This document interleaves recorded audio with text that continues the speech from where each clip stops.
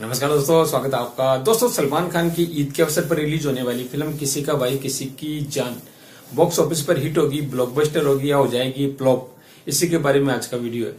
दरअसल दोस्तों, सलमान खान कई वर्षों के बाद में फुल फ्लेज्ड रोल में मतलब बड़े पर्दे पर वापसी कर रहे हैं। उनकी फ़िल्म राधे ओटीटी पर रिलीज़ की गई थी, कुछ थिएटर्स में भी रिलीज़ की गई थी और बुरी तरह फ्लॉप साबित हुई थी। और अंतिम द फाइनल ट्रूथ में उनका एक एक्सटेंडेड कैमियो था। जहाँ पे आयुष शर्मा का मतलब ज़बरदस्त रोल था। सलमान का भी रोल अच्छा था, लेकिन फ़िल्म बॉक्स ऑफ़िस में सफल नहीं हो पाई थी। तो कई वर्षों के बाद में सलमान खान वापसी कर रहे हैं। तो क्या सलमान खान की वापसी शाहरुख खान की तरह होने वाली है? इस प्रकार से पठान फ़िल्म के कलेक्शन बताए गए हैं।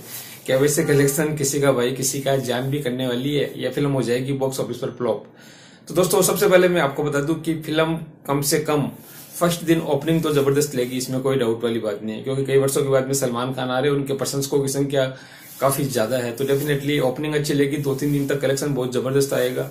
उसके बाद में डिपेंड करेगा वर्ड ऑफ़ माउथ पर, कि वर्ड ऑफ़ माउथ कैसा मिलता है, फ़िल्म में वास्तव में दम है या नहीं। लेकिन दोस्तों, जिन लोगों का ये तर्क है कि ये फ़िल्म बॉक्स ऑफ़िस पर पिट जाएगी, उसके पीछे दो मुख्य रूप से कारण बताए जा रहे हैं। एक तो अभी जो गाना इसका रिलीज़ किया गया था, नहीं हो लगता सॉन्ग वो ज़्यादा अच्छा मतलब रिस्पॉन्स नहीं प्राप्त कर रहा। हालाँकि गाना अच्छा है लेकिन कई लोग इसके गाने की जो तुलना है, वो दोस्तों भोजपुरी फ़िल्मों के गानों से कर रहे हैं। सलमान खान के जो डांस स्टेप्स है, उसकी तुलना व्यायाम, एक्सरसाइज करते हुए जैसे सलमान खान दिखाई दे रहे वैसे नज़र आ रहे और दोस्तों, तीसरा कारण इसका ये है कि सलमान खान और पूजा हेगड़े का फ़िल्म में प्रमुख भूमिका में होना, पूजा हेगड़ा, पूजा हेगड़े की जोड़ी सलमान खान के साथ होना।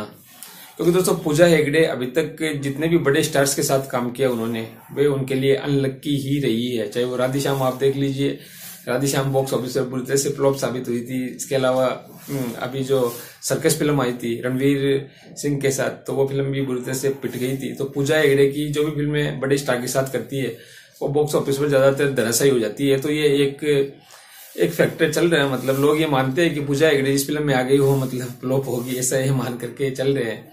तो एक तो ये कारण है। दूसरा दोस्तों फरहाद सामजी जो इस फ़िल्म के डायरेक्टर है। उनके बारे में भी लोगों का यही विचार है। दरअसल उनकी बच्चन पांडे बहुत बुरी तरह से फ्लॉप साबित हुई थी, आप जानते ही है। अक्षय कुमार थे उसमें। इसके बाद में उन्होंने सर्कस फ़िल्म के डायलॉग्स लिखे थे और उन डायलॉग्स की काफ़ी मतलब बेजती बहुत ज़्यादा अपमान सहना पड़ा था।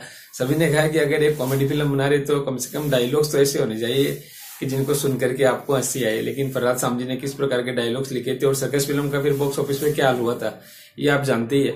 तो ये किसी का भाई, किसी की जान की दो कमज़ोर कड़ी है, एक पूजा हेगड़े और एक प्रहाद सामजी। अभी अगर प्रहाद सामजी ने कहानी भी लिखी है फ़िल्म की और डायरेक्शन भी दिया है तो अगर उन्होंने ठीक ठाक काम कर दिया है कहानी लिखने में और डायरेक्शन में, तब तो सलमान खान इस फ़िल्म को अपने कंधों पर उठा लेंगे और खींच के ले जाएँगे और फ़िल्म को हिट भी करवा देंगे। लेकिन अगर उनसे स्क्रिप्ट लेवल पे, कहानी के लेवल पर चूक हुई है तो फिर दोस्तों इस फ़िल्म का तो फिर क्या होना है आप जानते ही है। लेकिन इतना तय ज़रूर है कि फ़िल्म बॉक्स ऑफ़िस पर ओपनिंग ज़बरदस्त लेगी इसमें तो कोई शक वाली बात नज़र नहीं आ रही है।